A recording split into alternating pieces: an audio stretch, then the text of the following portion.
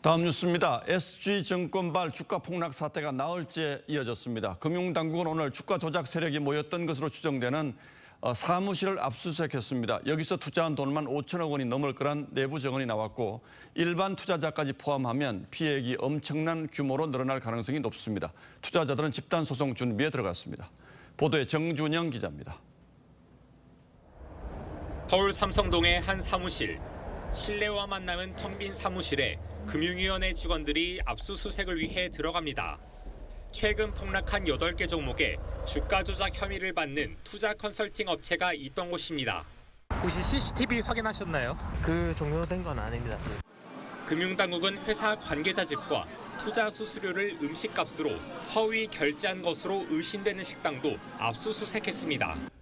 주가가 폭락한 8개 종목 중 3개 종목은 오늘까지 나흘째 한가를 이어갔습니다. 유가증권 시장에서 4일 연속 한가 종목이 나온 건 가격 제한 폭이 30%로 확대된 2015년 이후 처음입니다. 날벼락을 맞은 투자자들은 단체 소송 준비에 들어갔는데 현재까지 모인 50여 명의 투자액은 10억 원에서 100억 원까지 다양합니다. 물량 떠넘기기 식으로 돈을 편취하려고 했다는 부분 계정을 줬더니 뭐 대출을 받아서 미수금으로 이제 투자를 했던 부분들도 있어서 전체 투자자는 천여 명에 총 투자 금액은 5천억 원이 넘었을 거라는 내부 주장도 나옵니다. 금융감독당국이 모든 역량 그리고 검찰이 갖고 있는 모든 역량을 그 다 동원해서 가장 신속하고 효율적으로 이걸 처리하겠다.